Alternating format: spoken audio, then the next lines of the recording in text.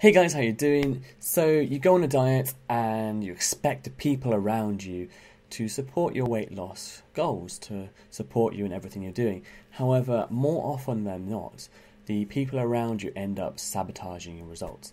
And in this video, I'd just like to explain why that is.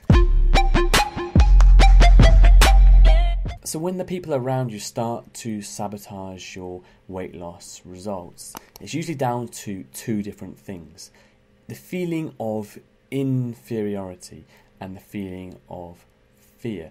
So I'd just like to explain these two things and how it makes people do things which are negative. Sometimes it's consciously, but quite often it's unconsciously without realizing it. So, um, yeah, I'd just like to explain those things.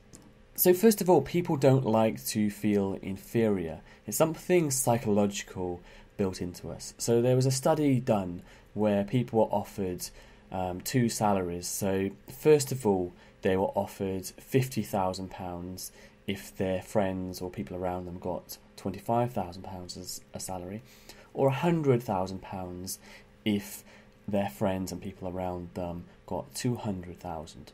Even though the second salary was double what the original one was, more people went for the 50,000 over the 100 because the others would be getting less than them. So they avoided feeling inferior by choosing, or basically, um, something that was worse off for them. So, this is a reason why people might discourage you from trying to lose weight. So, if you did lose weight, there's two things that could happen. They could either um, lose weight as well to um, not feel inferior to you, or the easier way, just make you not lose weight so they don't have to do anything basically. Um, and that's often what happens because it's the easiest route. We try and take the easiest route in life. Um, and like I said, it's not always conscious. Quite often it's a subconscious thing because this inferiority complex is built into us through our own human psychology. And another reason might be that if you lose weight and they're left as the overweight one in your friend group, then they're going to be singled out as the fat one and there's the fear of just yeah being that it's the a negative thing. So people are going to try and avoid that. So they might try and sabotage your weight loss. Progress because of this. Another reason might be that they fear that you're going to fail. They may have failed in the past.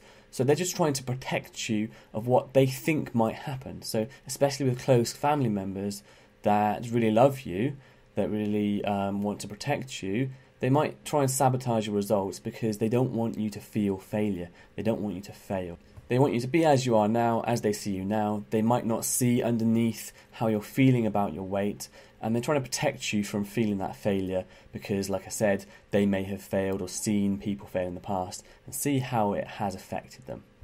Now, it's quite common as well that when you go on a diet, you start to avoid situations where there's going to be a lot of food or things that will affect your weight loss. So your friends will start to notice this, that start to notice you're avoiding certain situations, starting to go out less, and they might start to call you boring. But the real reason is that they're lonely and they don't want you to change. They don't want you to stop being the person you are going out. And um, you you can often be the person that gives them certain feelings and makes them happy. So when you disappear from certain social situations, they can start feeling um, lonely, like I said, and it's the fear of losing you. And this fear of losing you goes deeper, so especially with partners, relationships. If you're the one in the relationship that's losing weight, the other person that isn't, if they're overweight, can then feel that maybe they will lose you. If you lose weight, you'll become a different person and you won't love them anymore. You will look for someone that's similar to you, someone who's um, lost weight. So they might fear that if you do well, then they're not going to be adequate enough for you. So they're going to do anything they can to try and uh, persuade you not to lose that weight. So that's quite often why your partner might not be so supportive in your weight loss goal. So, those are some reasons why the people around you might try and sabotage your weight loss goals. And it's really important just to be honest and open with everyone and let them know why you're really doing it, just to make them really understand. And try and stop them from doing these things to sabotage you. Obviously, you can look at the root causes, the inferiority and the fear, make them feel good about themselves, make them uh, reassure them that they're not going to lose you, things like that, because then you'll start solving the real problems behind the sabotage. Obviously, the inferiority is a more difficult one because it's an inbuilt thing, but just making people aware why you're doing it for yourself, why it's important for you, and why it's going to make you happy.